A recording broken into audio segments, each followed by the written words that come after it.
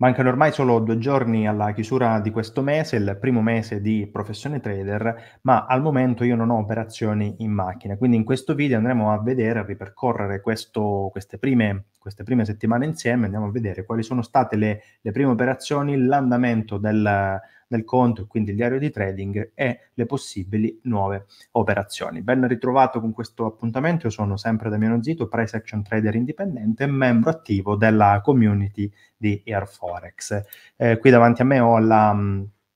MetaTrader collegata alla, al conto di eh, IG che ho dedicato a questa rubrica, conto che al momento si ritrova praticamente fermo senza eh, posizioni in, uh, in atto, come, come, dicevo poco fa. Eh, per, mh, mm, possiamo andare a vedere al momento come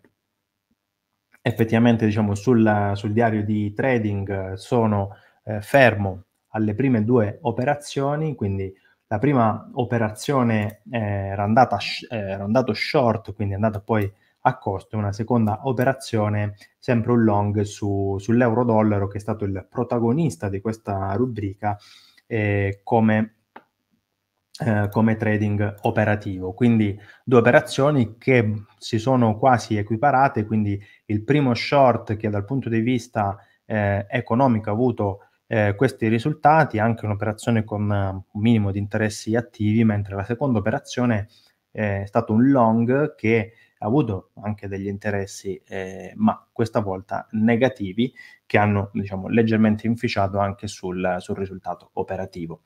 Eh, quindi la situazione al momento del, del conto è la seguente, siamo, sono fermo e con, con una leggera come dire, una leggera perdita, uno 0,17% in negativo, che quindi su questo conto equivalgono a 17 euro eh, circa. Ehm, bene, quindi torno sui grafici, questo è il grafico appunto del, dell'euro-dollaro, euro-dollaro che eh, giusto per ripercorrere un po' quello che, che ha fatto questo mese e quello che ho fatto anch'io, io avevo provato a tradare, uno, quindi eh, andando short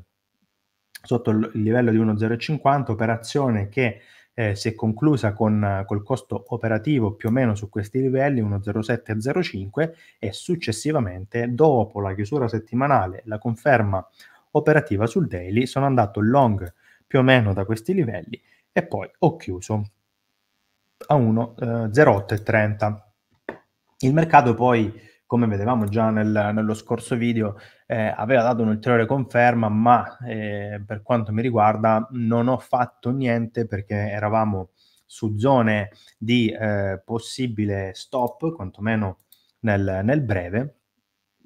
Eravamo vicini eh, praticamente a questo, questo, punto di, eh, di swing sul, sul settimanale, c'era comunque un livello, non era secondo me ancora eh, non sono ancora maturi i tempi per ritornare long sul, sul mercato del, dell'euro. Eh, se andiamo a vedere in effetti dal 17 novembre, quindi da quando il mercato ha poi creato questa, questo nuovo trigger operativo, che è una FTV doppio minimo higher close, in realtà il mercato è rimasto un pochino più eh, compresso. Eh, tra le altre cose avevamo visto come effettivamente la dinamica che sta portando su, che ha portato su il, il mercato, eh, studiandola da questo minimo massimo, era una dinamica che adesso portava eh, appunto, diciamo, confluiva 1,0950 con il 261,8. Quindi mh, preferisco, io preferisco al momento, conoscendo anche questo mercato, qualcosa di eh, più qualitativo, quindi eh, magari un ritorno su, su, queste zone, a questo punto l'area 1.08 e 50 è l'area veramente eh, clou, l'area chiave per poter fare un trade long su, sull'euro. Vediamo. Comunque siamo appunto su, su questi livelli, ci sta che il mercato tra il 261,8 e il 211,80 che sono rispettivamente per noi Air Forex il nostro T5 e T4 il mercato possa anche lateralizzare. Come è possibile anche che dopo una fase appunto di congestione attorno a questi livelli, insomma, possa fare appunto uno spike al ribasso, anche profondo, cioè andare anche a testare la zona un po' più in basso, l'1,08 eh, insomma, il mercato può, può, farlo, è tutto fattibile e quindi poi valutare, valutare dei long. Quindi questa, diciamo, questa è la, la situazione su, sull'euro-dollaro, abbastanza simile alla sterlina che è stata più forte, sterlina che adesso è arrivata su, un livello dove effettivamente qualunque posizione long andrebbe, secondo me, incassata, chiusa. Eh, da qui in effetti potrebbe, potrebbe avvenire un, un, un, pullback, quello che poi effettivamente potrebbe farmi entrare nuovamente long dopo ovviamente un trigger sul, sul daily, una dinamica confermativa sul, sul, daily. Ma il mercato che stavamo monitorando, che stavo monitorando la scorsa volta, in realtà è il mercato dell'oro, un mercato che è sicuramente molto forte, aveva questo settimanale, quindi un settimanale che è stato triggerato proprio la scorsa settimana. E, ehm, questo trigger è un, un FTV Power sul settimanale, ha triggerato anche il mensile e eh, aveva appunto questo, diciamo, questo, questi livelli, diciamo, questa confluenza col 2034, ma a me piace molto ehm, anche l'idea che questo mercato possa andare un po' più in alto visto il mensile eh, di cui parlavo poco fa, un mensile che ha appunto questo minimo massimo, una confluenza intorno del T2 intorno al 2070 che equivale più o meno con, con questo massimo, quindi direi interessante e, e, se andiamo a vedere diciamo sono dei massimi, ehm, questi sono dei massimi che effettivamente il mercato eh, ha sentito mh, in, maniera, in, maniera, importante sono i massimi storici, in realtà il massimo storico è questo, insomma, siamo a 2000, eh, 2082,70. Comunque, mercato sicuramente bullish, mercato molto forte, mercato che per quanto mi riguarda è only long, ma che ancora non ho acquistato. Infatti la scorsa volta era, eh, registravo il 21, quindi il 21 novembre eh, mi ritrovavo con, con, questa situazione, c'era stata questa, questa FTV che non ho, eh, non ho tradato, potevo, potevo tradarla ma ehm, ho atteso un pochino, sul, sul 6 ore poi eh, mi aspettavo in realtà che da qui già ci fosse un, primo pullback, e poi in realtà dopo mi ricordo che ho visto questo questo candelone già eh, nel, nel, pomeriggio, prima della sessione americana, o comunque durante eh, tra le 14 e le 17, ehm, durante la sessione, e eh, c'era effettivamente la possibilità che su questi massimi precedenti il mercato potesse tornare giù e quindi avevo segnato una buy zone che è appunto questa quest'area verde dove poter riacquistare il mercato. Però la scorsa settimana sinceramente non ho fatto, non ho fatto operazioni, eh, non mi ha dato effettivamente qui un, uno spunto, questo è il 6 ore, ma se andiamo sul giornaliero non mi ha dato uno spunto chiaro, qui rimaneva e eh, rimane, meglio, è rimasto inside fino alla giornata di ieri, questo è il 27, quindi lunedì scorso. Se andiamo a vedere, questo qui è un, un come dire, un, un cluster, ok? Quindi sono delle eh, barre che sono rimaste in inside, abbiamo tre candele inside eh, che sono quelle del mercoledì, giovedì, venerdì, quindi tutta la settimana è rimasta inside della candela del martedì scorso. Quindi al momento, eh, al momento cosa potrebbe succedere? Qui magari oggi eh, rimane ancora forte oppure viene giù, quindi magari rientra dentro eh, si fa un giretto un pochettino più in basso, ma potrebbe poi dare effettivamente la dinamica eh, confermativa anche sul, sul 6 ore per, per, un long. La, diciamo, la dinamica eh, potrebbe effettivamente verificarsi, secondo me, nelle, nelle, prossime ore, nelle prossime giornate, insomma. Oggi è, oggi è martedì, quindi nel giro, nel giro di veramente di, di poco. Eh, adesso effettivamente dovremmo essere in una situazione per cui il mercato, se non sbaglio, sì, è al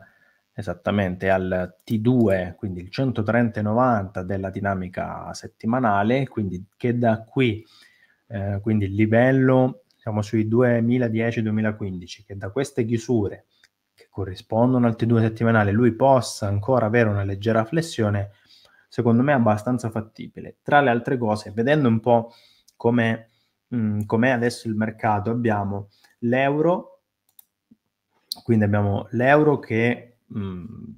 per quanto mi riguarda potrebbe e serve che a questo punto dia, come dire, un, un minimo di eh, ossigenazione anche lieve, perché comunque è rimasto, è rimasto forte, così come la sterlina. Sterlina però anch'essa è arrivata su una zona di eh, possibile pullback. Abbiamo, e che è stato poi diciamo, il motivo per cui non ho fatto il, il trade della scorsa settimana, un dollaro yen che è correlato eh, inversamente con, con, l'oro, che è stato eh, debole, quindi un, uno yen forte, che era il motivo per cui tra gli aspetti negativi di valutazione del, del trade ho tenuto molto in considerazione, nel senso che eh, non mi sembrava a livello di timing il momento giusto per, per entrare sul, sull'oro. Quindi ho dato comunque ho dato peso a, questo, a questo fattore, conoscendo un po' il, il mercato, mh, mm, mercato diciamo di, lo yen è stato sicuramente molto forte rispetto a, al dollaro americano, l'oro non è, eh, dire, non è sceso, non, comunque non si è mosso tantissimo al rialzo, anche se si è fatto qualche, qualche dollaro al rialzo, però insomma rimane, rimane ancora molto interessante. Eh, il dollaro yen effettivamente dopo aver preso eh, diciamo questa eh, deriva ribassista, quindi aver rotto il livello di 148,80 che è un livello molto interessante per, per il mercato perché qui questo livello è un livello che eh, in qualche modo eh, era il livello da tenere per, per il long anche nelle, nelle, scorse settimane e adesso eh, rimane come dire, lo spartiacque di, di, breve. Ieri ci ritorna giù dopo averlo recuperato e mh, mm, vediamo, vediamo come, come, si comporta nelle, nelle, prossime ore. Però a prescindere da questo, per quanto riguarda, eh, tornando appunto al, all'oro, direi che se effettivamente eh, questo mercato è forte, dovesse arrivare anche un minimo di rafforzamento di dollaro americano, non credo che loro possa ritracciare tantissimo e se lo fa, insomma, andrò comunque a capire la, la dinamica. Dal punto di vista operativo, qui cosa potrebbe avvenire? Potrebbe avvenire che nel giro di uno o due giorni, appunto, questo vada giù, potrebbe anche avvenire che lui vada dritto eh, verso eh, i 2030 e a quel punto, a quel punto potrei, se lui fa così due giorni, tre giorni va su, poi a quel punto magari fa una cosa del genere, a quel punto rientro eh, su, un ulteriore, eh, su un ulteriore swing. Se guardiamo la dinamica nel, nel breve, appunto, qui abbiamo un mercato che dal punto di vista di eh, swing nel, nel, brevissimo, diciamo nel breve, non nel brevissimo, quindi nel daily ha fatto questa dinamica, quindi questo minimo, questo massimo, questo è uno swing, questo è un altro swing, quindi l'ultimo swing è in zona appunto, questa zona qui è in zona 1960, comunque livello, diciamo, un livello supportivo importante. E, ehm, comunque questo è il mercato che mi piaceva, mi piaceva di più e sul quale effettivamente sto, eh, sto aspettando la conferma, la conferma buona e quindi fondamentalmente ho cercato mh, il buon timing su, su, questo mercato. Si poteva, come dicevo già la scorsa volta, potevo entrare long, potevo entrare long anche da qui, anche se non l'ho fatto, ma si poteva entrare long per quanto mi riguarda anche alla rottura del, del weekly, però come vediamo non ha fatto, non ha fatto molto. Ecco, questo, questo, è il senso. Però visto che siamo alla chiusura del mese, volevo fare un paio di eh, prospettive su due trade che non ho fatto questo mese. Uno vado sul, sull'indice SP, che è l'indice appunto americano eh, per, per, eccellenza, quindi l'SP 500, eh, che raggruppa le 500 aziende più capitalizzate d'America, è um, un mercato che al momento chiaramente si trova sui 4.550 che proprio eh, qualche settimana fa volevo, eh, stavo valutando per un long, non ho avuto forse eh, la, la, prontezza di inserire il, il, buy stop, nel senso che mi ricordo stavo valutando l'idea di, di mettere un buy stop su, su questo mercato e, ehm, e, poi è partito. Quindi ci sta, effettivamente l'allungo è venuto proprio martedì 14, mi ricordo stavo registrando l'episodio di eh, Professione Trader e questo era il mercato che stavo, che stavo valutando. Comunque ci sta, succede anche questo. Ehm, dal punto di vista di dinamica, quindi siamo al, eh, al 10, volevo solo capire se eh, 10 novembre, quindi 13 novembre, andiamo a vedere un po' qual era, come si era poi strutturata questa, questa dinamica nel brevissimo. Ok, perfetto. Ecco, qui avevamo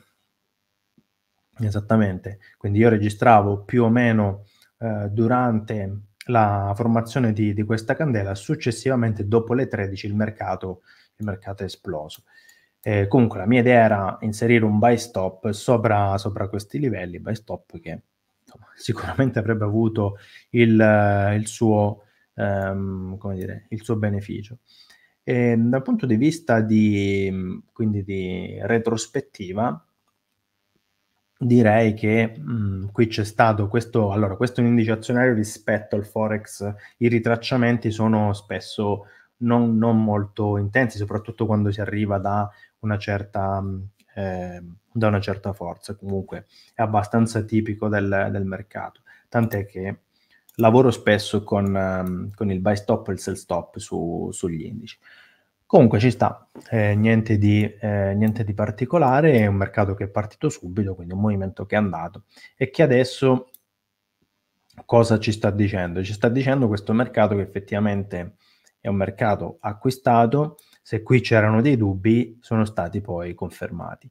Adesso rispetto a questo, questo swing siamo anche qui al 4550 al 261,8 di, di questo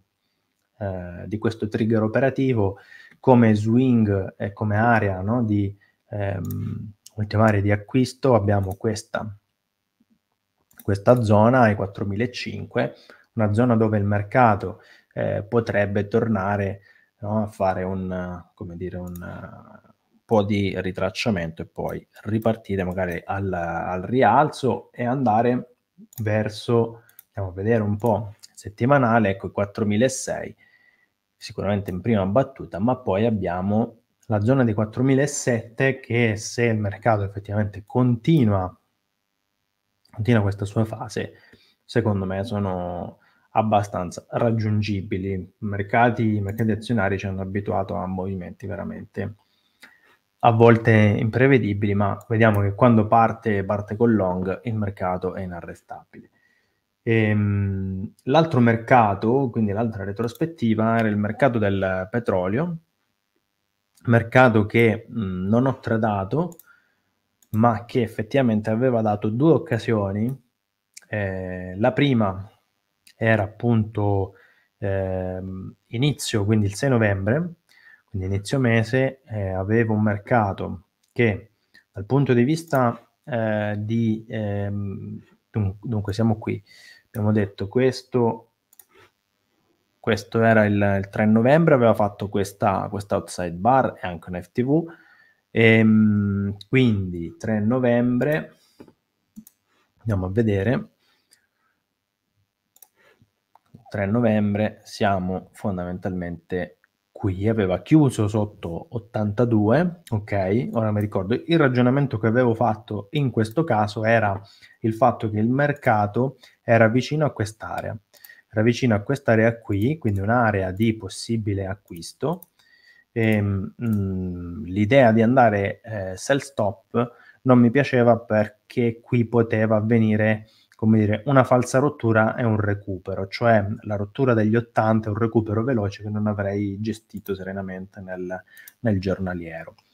Ehm, quindi, però c'era, c'era, un po' di spazio, almeno fine 78, va bene. Ho voluto attendere una conferma, in verità però quando, questo diciamo è una cosa che sto dicendo a me stesso effettivamente, nel momento in cui poi il lunedì c'era una insight dopo, eh, dopo un outside bar, effettivamente mh, mm, l'idea di tradare il sell stop qui ci stava, ci stava tutto, magari potevo, eh, potevo fare una cosa del genere, quindi anziché mettere uno stop molto, eh, come dire, vicino, uh, vicino anche a questi massimi, avrei potuto fare qualcosa tipo 86, ma anche 88,50, eh, conoscendo un po' eh, il mercato, nel senso il mercato che può, eh, quando, quando, lo fa, può dare anche volatilità. L'idea mia era non voler vedere qualcosa del genere, quindi un uh, rottura e poi un recupero del genere, quindi una volatilità di questo tipo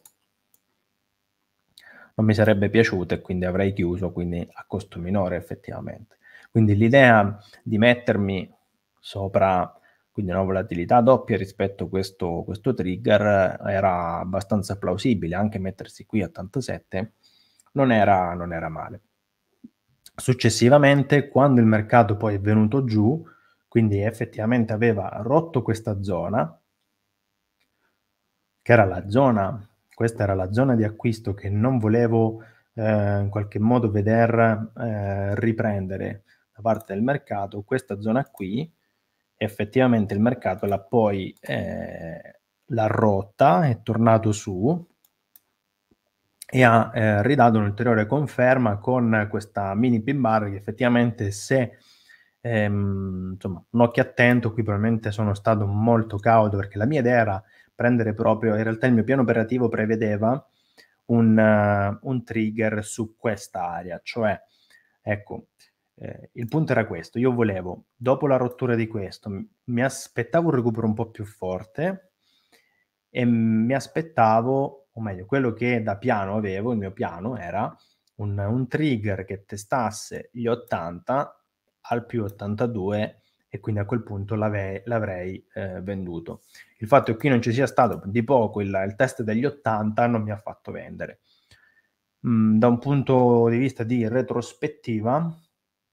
è come se io fossi rimasto, rimasto a BE, ho rispettato che era, quello che era il mio piano operativo, cioè l'attesa proprio del... in questo caso era un livello, eh, diciamo un numero tondo, gli 80, gli 80 dollari al barile la situazione non c'è stata, quindi non si è verificata. Va bene, va bene così. Operativamente al momento, per esempio, il petrolio è un mercato che, vista la zona dove siamo arrivati, eh, per esempio, è un mercato che sto invece guardando per